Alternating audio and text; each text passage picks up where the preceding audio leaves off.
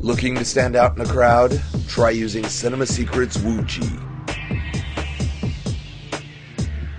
I begin with using the Cinema Secrets Spirit Gum, a skin-safe adhesive, brushed lightly around the edges of the piece.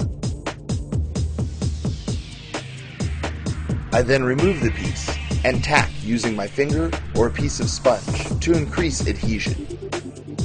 Carefully repress the piece back into place. I look for any edge that is not properly adhered. Work a little more spirit gum underneath that edge and tack using my finger.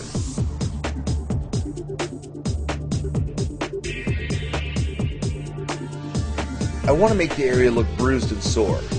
I do so by using a black stipple sponge with a small amount of corpse yellow, bruised red, and undead purple makeup.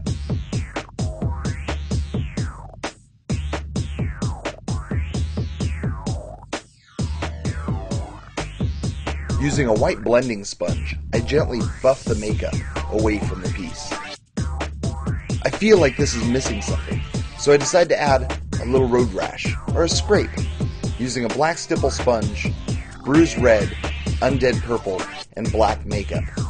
Once I'm finished applying the makeup, I hide the edges of the piece using a black stipple sponge and some effects blood. And finally, some blood gel, applied to any area that I want to make look deeper.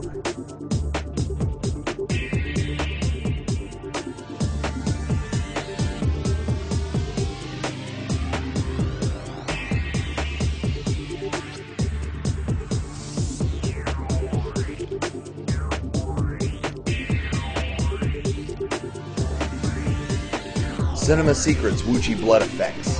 It just doesn't get any easier.